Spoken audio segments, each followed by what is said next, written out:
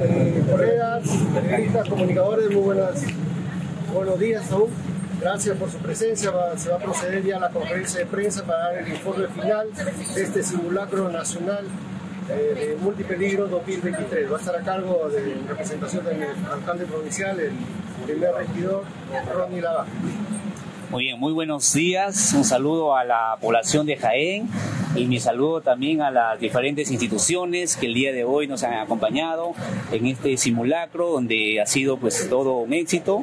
El saludo también reciban del señor alcalde, saludo extensivo y un agradecimiento también a todas las instituciones eh, comprometidas ¿no? con, esta, con este simulacro, ¿no? en este caso a la DISA, al hospital, a la, a la a, salud también, a los colegios, a la universidad, a las universidades y también a los institutos y y a, la población de Jaén que, que, ha participado el día de hoy en este simulacro. ¿no? Entonces, este, siempre el compromiso de la municipalidad de fomentar esta cultura de, prevención y exhortamos también a la población para que se sume, porque esto se va a seguir este, realizando, estos simulacros, eh, anualmente se realizan tres de simulacros y para la próxima seguramente pues, este, habrá más participación de la población. Pero en conclusión, creo que ha sido todo un éxito este simulacro. ¿no? Vamos a presentar entonces este, el informe de este simulacro. Eh, el epicentro ha sido en Lambayeque de 8 grados y acá nuestra provincia de Jaén ha llegado este, a, 7, a 7 grados. ¿no? Vamos a ver este también este, en este caso este, los daños, daños a la vida y a la salud. Eh, damnificados tenemos 150 personas, 750 eh, afectados, tenemos este, 1.200 familias y personas 7.200. Muertos tenemos este, 115 y heridos tenemos 350. ¿no? Entonces, estos son los resultados que hemos tenido de este, de este simulacro y la cual también dejo abierta acá la participación de las instituciones y también la participación del ingeniero Yoe para que eh, también pueda este, reforzar este, estos resultados. ¿no? ¿Alguna pregunta? ¿Alguna consulta? o las preguntas que, que puedan hacer. lugar de mayor desastre? A ver, el, el, simulacro se ha desarrollado con la participación de las diferentes instituciones. Vale recalcar y mencionar la importancia de los que hemos participado, liderado por la municipalidad. Tenemos a Salud a través de RI Jaén, Salud, eh, tenemos también Universidad de Jaén, de Cajamarca, la institución de parroquial, Instituto Javier del Marañón, Serenazgo, un sinnúmero de instituciones que están abocadas a la gestión del riesgo, pero necesitamos que se sumen el resto de instituciones también que no han participado y que nuestra ciudadanía sepa que estamos organizados y venimos trabajando con ellos para poder mejorar la capacidad de respuesta. Asimismo, eh, el epicentro para este escenario fue en la ciudad de Lambayeque, pero la magnitud la intensidad llegó hasta Jaén en 7 grados.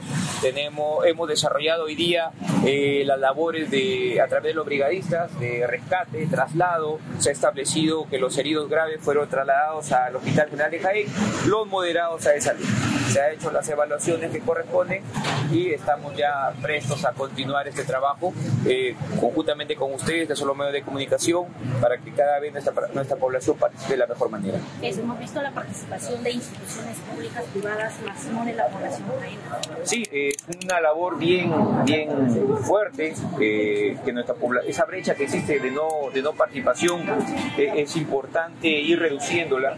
¿Y cómo lo vamos a hacer?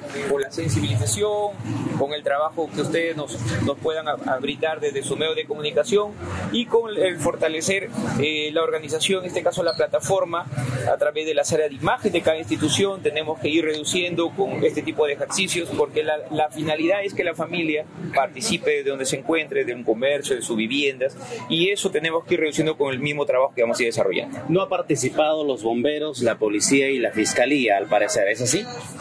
Eh, a través de otra institución podemos también dar esa, esa respuesta. A ver, la, licenciada de, de la red. Bueno, tengan ustedes muy buenos días, señores periodistas, autoridades que el día de hoy nos acompañan. Yo creo que es un momento muy importante en la cual hemos tenido la participación de todas las direcciones y más que todo de la Municipalidad General de Jaén y de las diferentes entidades que nos, nos han acompañado el día de hoy. Y lo más importante el trabajo que se ha organizado con la RIS Jaén, en la cual ha estado a cargo de Defensa Nacional junto con sus brigadistas. Yo creo que la población ha participado en una forma ordenada y de esa manera yo creo que estamos preparados para poder ir enfrentando esta situación que se nos venga. Ustedes saben que no sabemos la hora, puede ser en la mañana, en la tarde, en la noche, estos imprevistos. Luego, el sismo, como manifestaban, eh, el epicentro ha sido en Chiclayo y luego pues acá en Jaén ha llegado a siete, ¿no? Eh, baje todo, la forma como nos hemos organizado ha funcionado con tres carpas. Tenemos la carpa roja, la carpa amarilla y la carpa verde para la selección de todos este, los heridos y derivarlos al Hospital General de Jaén, luego al Salud, que también tenemos la participación de nuestro director, y los demás este, establecimientos de salud que tienen que estar este, preparados. Para ello, hemos podido, este, la información recibida, tenemos lesionados 10, fallecidos 2. Cuanto a la población en general, desaparecidos 4, lesionados 450, fallecidos 60 y desaparecidos 40 daños este, básicos mayormente ha habido en lo que es este agua, este, un 70%, energía eléctrica un 80%, eh, tenemos también en cuanto a las comunidades que también han sido afectadas. Yo sé que este trabajo tiene que ser en conjunto para poder este, de esa manera irnos preparando. Como mencionaba anteriormente el ingeniero, que no es la, el primer este simulacro que se realiza. Luego en el mes de agosto vamos a estar quizás más organizados, más este, preparados para poder enfrentar estos sismos que se nos pueden presentar en cualquier este momento. ¿Por qué no participó los bomberos y poca presencia de la policía y la fiscalía? Bueno, este, esta respuesta justo la, la, va a manifestar el señor este, Campos Milla en las dificultades que han podido presentarse. Bien, agradecer a todos la prensa, creo que es el primer simulacro nacional de multipeligros. Se ha organizado desde hace un mes toda la plataforma provincial, grupo de trabajo, gestión de riesgo de desastre cada sector, y todos los sectores público-privados están convocados en forma eh, respectiva, de acuerdo a la ley de Sinajer 29664, que todos en forma transversal son convocados. Por lo tanto, eh, desde inicio se ha convocado un documento y no llegaron, creo que los bomberos, ya depende de cómo se han manejado ellos, ¿no? entonces evaluamos en que deberían participar porque no, no tenemos la parte de, exigencia, no, sino que están convocados, ¿no? Entonces no llegaron, le ha participado la brigada primera respuesta de salud, han visto un número de cuatro, cada brigada de seis integrantes y han participado en forma activa, hemos trasladado lo que se llama sistema de comando de incidentes. Ese sistema de comando de incidentes es el que se ha instalado, la puesto médico de avanzada con dos carpas para los pacientes graves, con código rojo. El amarillo, todos los pacientes, los que son moderados, y la carpa verde son para pacientes con código verde. No hemos tenido también la parte de cómo trasladar a los fallecidos. Entonces estaba instalado la carpa azul, pero no teníamos personal, lo que es, tiene que evaluar. ¿Quién le evalúa a los fallecidos? El Ministerio Público. Entonces ya hemos obviado también ese traslado, entonces está pendiente de repente para las siguientes actividades ir sumando todos los sectores que tienen que ser articulados en la provincial, si no nos preparamos articuladamente. No participa educación, no participa salud, no participa policía.